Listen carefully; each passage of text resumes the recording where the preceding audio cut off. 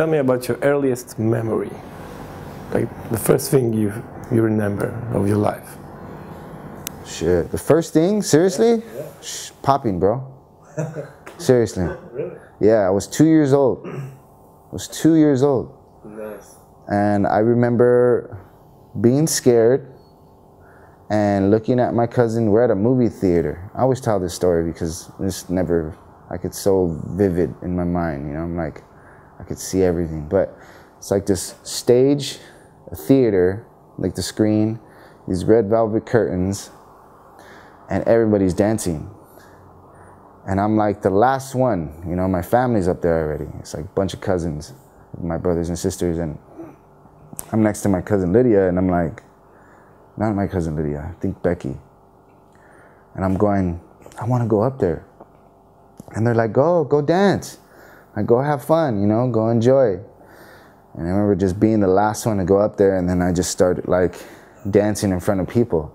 And I was like, mm, mm, mm. like doing like little, little whatever I could think of that I'm just like trying to follow them, you know?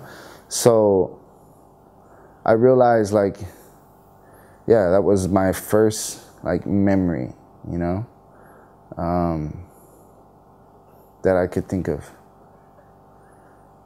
That's crazy. So we see that the dance is like from from the be- early beginning of, of your life. Yeah, this is cool. Yeah. All right. Your first success in life that you think of. Um, first success in life.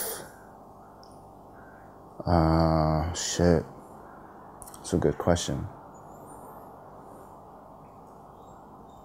I think um, was winning a competition, even though I didn't get nothing from it, but winning a competition on TV. Yeah, it never aired. Well, it aired, but it was like a whole different show. They changed the name and made it something else. But like we were supposed to like receive an agency if we won, you know. And I ended up winning the TV show, but the show like never aired, and nothing ever came out of it. So it was just really whack, you know. But it was really dope to see like I could perform to infected mushroom, like an EDM artist, on stage over ballet, over like all these other dance styles and and artists, and like really make something of this art, you know. Um, the way I presented it, the way I dressed, like everything, everything, and I realized that there was a bigger picture from that point on. How old were you? Um, I don't even remember, dude. I, I just because it was like just something to do, and my friend was like, "Yo, we have this show, let's do it." And I was like, "Okay, cool." And since I won, I was like, "Yeah," and then nothing out of it. You know what I'm saying? So it was kind of like, all right. But I know I was in my 20s. I was like my early 20s. It had to be like maybe 2003 or four, maybe 2003. All right. So we started dancing locking here Yeah. at this point. I think. Oh yeah, nice. It's like the first first information that locking exists. It's like came to Poland. There was actually uh, a locking group from France on there. Yeah. Yeah, and um, that- Oh, on the in- show. in the show? Yeah, Cool. And they were from, uh, what, I think it was Cool Pockets. Cool Pockets. He's a locker from the Valley, from the San Fernando Valley. Yeah, yeah. Uh, from Chain Reaction. Yeah, I know Chain Reaction. Yeah. So he was like, I remember uh, it was, it was Paul Guzman. Oh yeah. I Yeah. know Paul, yeah. He was a, he was a douche to me. Yeah. He came up to me and was like, first question he asked me was like, "Who's your inspirations?" You know, and I started naming like Mr. Animation, Mr. Ree, you know, Chuko, and then I was like, you know, Mr. Wiggles, but not his dance, like more his lifestyle. And I guess he totally ignored that and was like, "See," and he started going off on me about like the popping culture or whatever, and I was just like, before I could even finish, like who else, you know, I was like, okay, so you're obviously that that that hit a button. like, I mean, I'm just, I didn't pop like Wiggles, but I was like, you know, I respected the man, dude. I was like, don't, you know, take it a whole, take it out of context. But yeah, I- don't know if he tried to like discourage me or he was just a douchebag, but yeah, kind of rubbed me the wrong way at that time. But at that time, it didn't even bother me. I didn't really care. I still won, you know. Okay, cool. First disappointment in life. Uh, first disappointment was my family splitting apart. My family splitting apart was a really, really like. I, I couldn't believe it. I didn't I didn't know what was going on. There was no communication within my family. Nobody said, "Hey, you know, we're gonna we're gonna spend some time separate," and um, I'm sorry, you know, like, but we're gonna have to like figure out what to do from here. It was just like we just moved and there was no communication whatsoever. So it was disappointing to find out that my parents were no longer connected in some way. You know what I'm saying? So, yeah. Right, we already talked about it, but where the dance came in your life? Like, I mean, it started like again. I, I was two years old.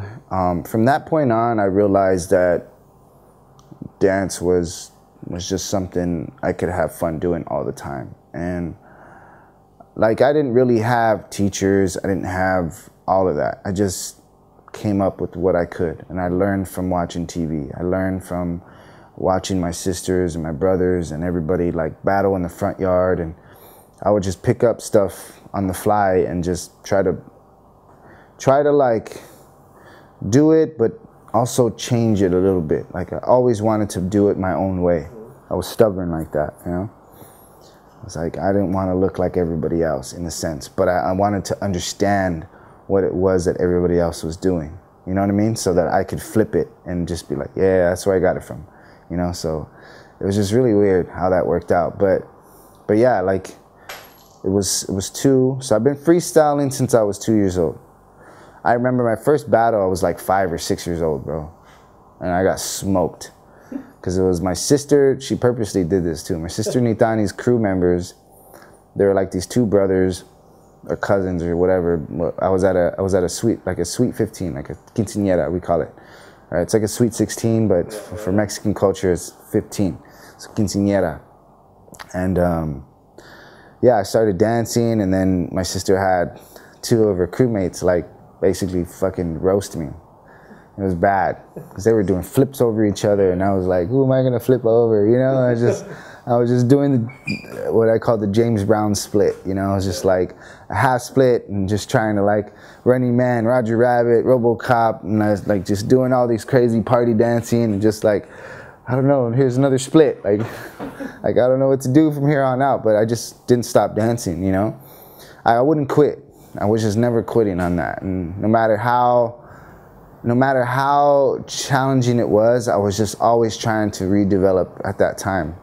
And I think that's when I really got addicted to that kind of feeling like like damn, they're better than me. Like I need to be better. I need to be better than myself. You know, like I really wanted to be good for me. Um, so yeah, so six, five, six, by seven, eight, nine, um, I started miming. I was always miming, like just playing with walls and just like picturing stuff. And I remember one of the funniest things I would do that my friends would love was I would, you know, act like there's a wall and then I would try to push it. And I would keep trying and, and like adjust my body and then I would fall. Like the wall would fall and I would I would fall with it, you know?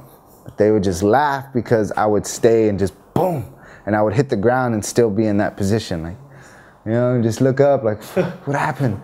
And they would just laugh. They would trip out on it because it was so, like, to them, it was just real. And that's when I realized, like, miming, I would imitate Robocop. I would imitate, like, Short Circuit. Um, I would imitate, you know, whatever I could to make movement something real without, like, having, you know, without being a robot or being a machine or being a mime. So, that kind of already like just started helping me create stories in my mind. And then um, I would do like these acting skits out of nowhere. I just would just act as if I was, and I mean like act, bro. Like I would jump in a car and act like I'm driving and then jump out the car and just be like, hey, you know, and just be a total different character, you know, and just like, like I was smoking a cigarette or something and just like, you know, talking a certain way, and it was just like really interesting being a kid doing that. You know, it was just that to me was was life, man. Like whatever I could recreate was was happening. Um, so by nine years old, I got a VHS tape. One of my cousin's um, boyfriends uh, gave me a tape. He's like, "Here, take care of this." I was like, "All right." And I was excited because they knew I loved to watch movies. You know, I was always watching movies. And um, it was Beat Street. And that right there was like the golden ticket, bro. I was like, I remember this. I remember doing this. I remember everybody doing this. I remember we all danced. Like, and it just hit me, you know? Because at that time I was home alone a lot. So again, like I wasn't busting it yet, but I was home alone, so pretty much by myself, you know. And my mom was out partying, my sister was out partying, my brother was out doing his thing, and I was home by myself because I was living with my mom, uh, Eugene and Priscilla. So Beat Street just changed my whole perspective on music, on everything. Anything I could look for to dance to, I was dancing to it. My sister and her and her friends would throw parties in our backyard. So our house was always the party house. You know, so I was a kid listening to music nonstop. Whether I liked it or not, the parties were always there. You know, so and that's how like that's also what kept me dancing. Is I was always at a party just doing my own shit. You know, I'd always ask a girl to dance she was all there. I would be like, hey, can we dance? You know, because I want to dance. I was like, fuck this shit. I ain't gonna just stand here. So that was my thing. And the girl, like the girls, always loved it because they were just like, this kid loves to get down. You know, I'm just like, hell yeah. But um, yeah, it was cool, man. That was nine years old when I finally started to really like pick up popping. Right. At which point you like started stopped dancing for dancing and decided that this is the thing you want to do. Like this this is the way you want to make your life.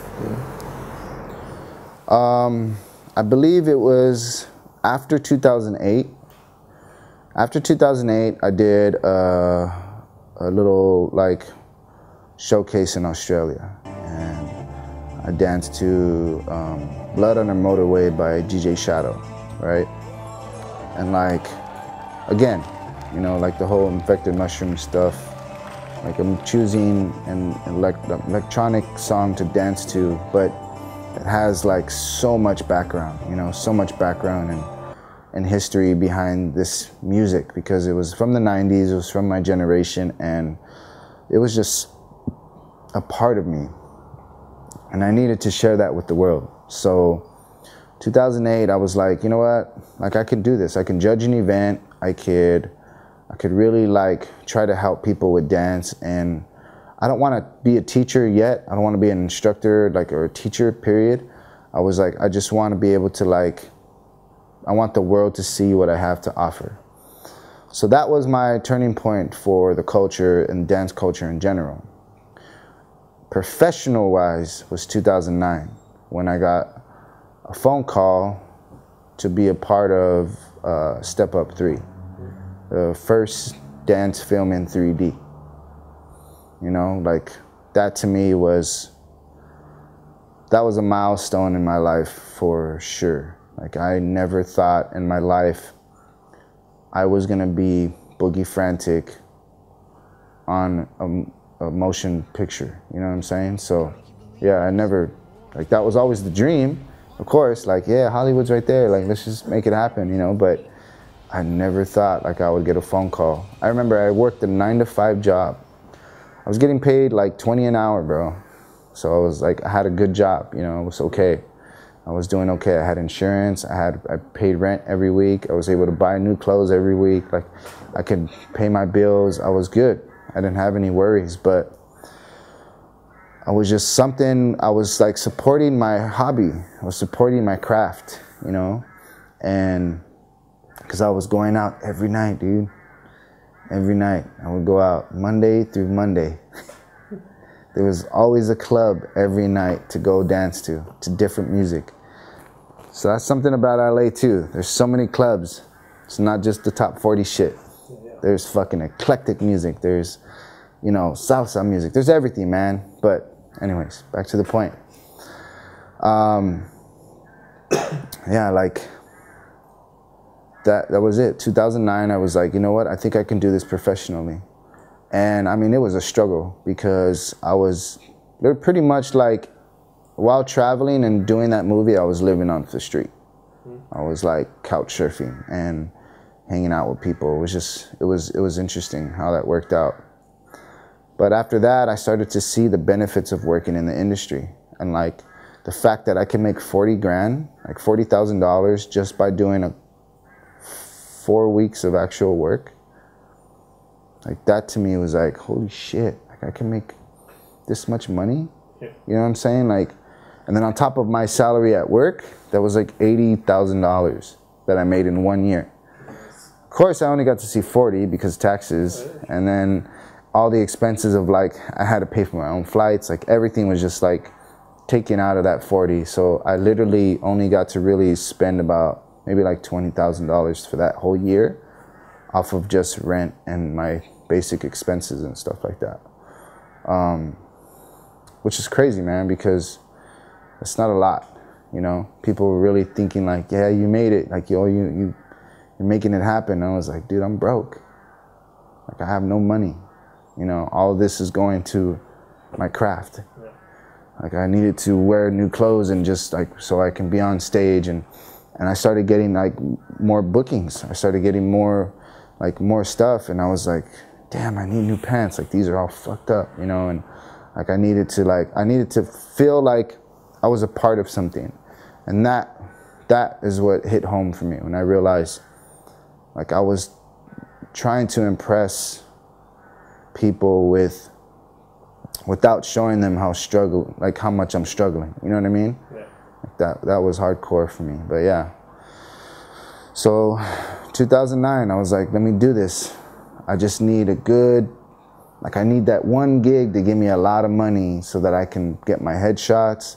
I can get like whatever I need needed to back up my my business cards, like everything, you know, mm-hmm. Just to have all that because a demo reel that costs money, headshots that cost money. Now I have friends that can do that for me, but it was just like it's difficult to to do that, you know, like to sit there and like like try to take all this stuff and let me let me break down and like to me I feel like I'm selling out when I do that. And that's that's that's a hard thing to chew, you know? Some my friends always tell me like, "Bro, just fucking do it." You know, like who cares? Nobody's going to judge you. I'm like, "Yeah, but it's never been about that. Like I've never done I didn't do this. I didn't love dance to to be that way. You know what I'm saying? Like and now I'm starting to realize like shit, I need to survive. I need to make it happen. So yeah, now it's becoming a necessity to, to be successful.